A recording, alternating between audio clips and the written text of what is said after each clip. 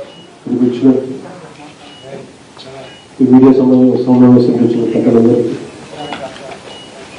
Media పెద్దలందరికీ మిత్రులందరికీ ప్రత్యేకించి భారతీయ జనతా పార్టీ తరఫున జనసేన పార్టీ తరఫున హృదయపూర్వక స్వాగతం పలుకుతా ఉన్నాను వేదిక వాసులైన భారతీయ జనతా పార్టీ నాయకులు కమల లక్ష్మణ్ గారికి స్వయం దినకర్ గారికి జీవన్ నరసింహ గారికి మేడం పురంధేశ్వరి గారికి సోమ వీర్రాజ్ గారికి అలాగే మా నాయకులు నాగరి మనోహర్ గారికి ప్రతి ఒక్కరికి పేరు పేరు హృదయపూర్వక నమస్కారాలు తెలియజేసుకుంటాను ఈ రోజున నేను ముందుకు రావటం దీని వెనుక మీ దృష్టికి తీసుకురావాల్సిన రెండు వేల పద్నాలుగు నుంచి జనసేన పార్టీ ఆవిర్భావం నుంచి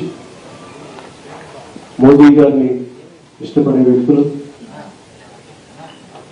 అలాగే జనసేన భావజాలను ఇష్టపడే వ్యక్తులు దాదాపు ఒకటే కావటం రెండు వేల పద్నాలుగు నుంచి సాగుతా ఉంది. దాంట్లో భాగంగానే నేను గాంధీనగర్కి వెళ్ళి అప్పుడు ప్రధానమంత్రి అభ్యర్థిగా మోడీ గారి కలవడం జరిగింది. అనేక ఆలోచనలు పంచుకోవడం జరిగింది. మనస్ఫూర్తిగా ఈ కలయిక భారతీయ జనతా పార్టీ అవసరం. భారతీయ జనతా పార్టీ అవసరం.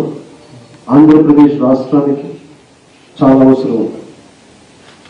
ఒక సరికొత్త రాష్ట్రంగా ఏర్పడ్డ తర్వాత పసి రాష్ట్రంగా ఏర్పడ్డ తర్వాత అవినీతి రహిత నాయకులు గొప్ప విజన్ ఉన్న నాయకులు చాలా బలమైన నాయకులు ఆంధ్ర కేంద్రంలో ఉంటే అది ఆంధ్రప్రదేశ్కి చాలా బలమైన అభివృద్ధికి అవకాశాలుగా ఉంటాయి అనేది మేము ఆలోచించి మేము ఆ రోజు నిర్ణయం తీసుకోవడం జరిగింది.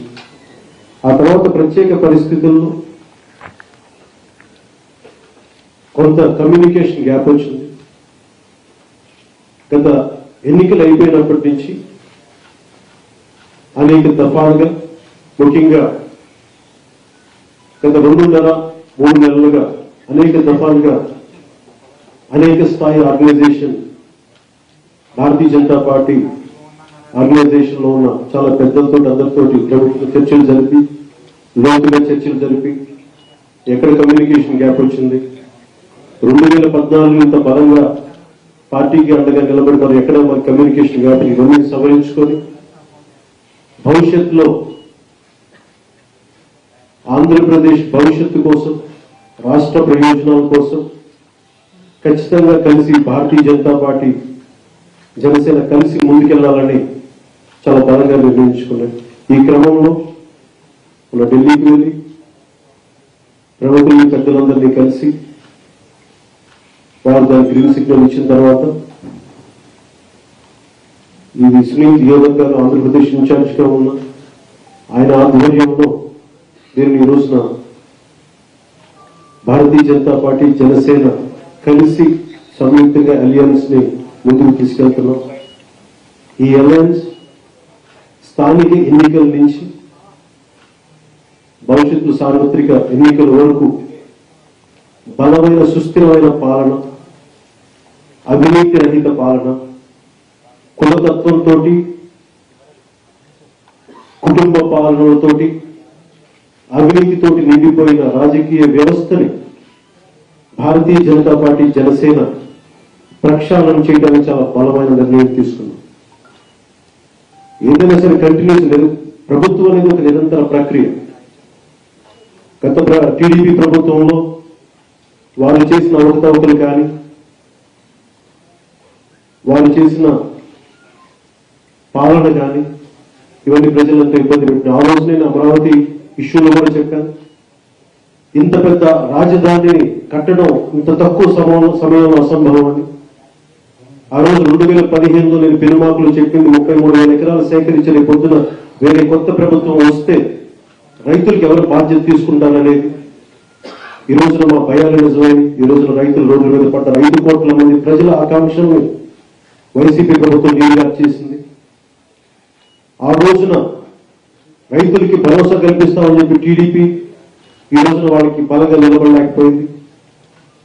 ఇవన్నీ మనం చాలా అందుకని ఈ రోజున ఆంధ్రప్రదేశ్ రక్షణ కోసం ఈ అలయన్స్ని ఆంధ్రప్రదేశ్ ప్రజల రక్షణ కోసం ఆంధ్రప్రదేశ్ అభివృద్ధి కోసం అన్కండిషనల్గా ముందుకు తీసుకెళ్ళాలని మేము నిర్ణయించుకున్నాం. ఎందుకంటే ప్రజలు బాగుండాలి అభివృద్ధి రావాలి పెట్టుబడులు రావట్లేదు.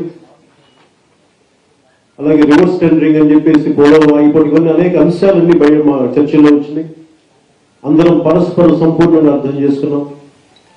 మా ఒక్కరు ఎక్కడ కూడా ఎక్కడ కమ్యూనికేషన్ గ్యాప్ లేకుండా భవిష్యత్తులో ఎలాంటి అవగాహన లోపాలు లేకుండా స్పష్టంగా ప్రతి అంశం మీద క్షుణ్ణంగా చర్చించుకున్నాం. దేశంలో నుంచి సమస్యల దగ్గర నుంచి రాష్ట్రంలో ఉన్న సమస్యల అన్ని క్షుణ్ణంగా చర్చించుకున్నాం. ముందు మేమందరం కలిపి ఒక కోఆర్డినేషన్ కమిటీగా ఏర్పాటు చేసుకోబోతున్నాం.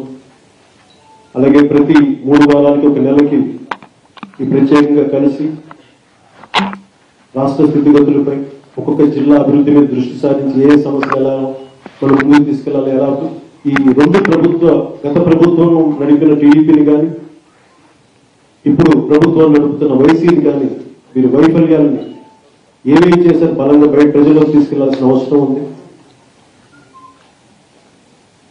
రెండు వేల ఇరవై వచ్చే సార్వత్రిక ఎన్నికల్లో భారతీయ జనతా పార్టీ జనసేన ప్రభుత్వాన్ని స్థాపించబోతుంది ప్రజలు విసిగిపోయారు. ఒకవైపు పాలెగాల రాజ్యం. ఇప్పుడు అంతకుముందు అవకతవకలతో అవినీతితో నిండిపోయిన రాజ్యం. వీటి నుంచి ప్రజలు తృతీయ ప్రత్యామ్నాయాన్ని కోరుకుంటా ఉన్నారు. ఆ ప్రత్యామ్నాయమే భారతీయ జనతా పార్టీ జనసేన పార్టీ అందించబోతుంది ఈ కలయికకి మాకు ముందుకు తీసుకెళ్ళి అందరికీ అండగా నిలబడ్డ ఈ కలయికకు అండగా నిలబడ్డ ప్రధానమంత్రి నరేంద్ర మోదీ గారికి అమిత్ షా గారికి ప్రత్యేకంగా కృతజ్ఞతలు తెలుపుకుంటా ఉన్నాం. వారు ఏదైతే భరోసా పెట్టారో ఒక ఆంధ్రప్రదేశ్లోనే కాదు. భవిష్యత్తులో ప్రతి చోట ఎక్కడైతే మా అవసరం ఉందో అక్కడ సంపూర్ణంగా ఈ కలయిక కోసం సంపూర్ణంగా మా మనస్ఫూర్తిగా జాతి అభివృద్ధి కోసం రాష్ట్రాల శ్రేయస్సు కోసం సంపూర్ణంగా పనిచేయాలని చెప్పి నేను మనస్ఫూర్తిగా వారికి కమిట్మెంట్ ఇచ్చాను.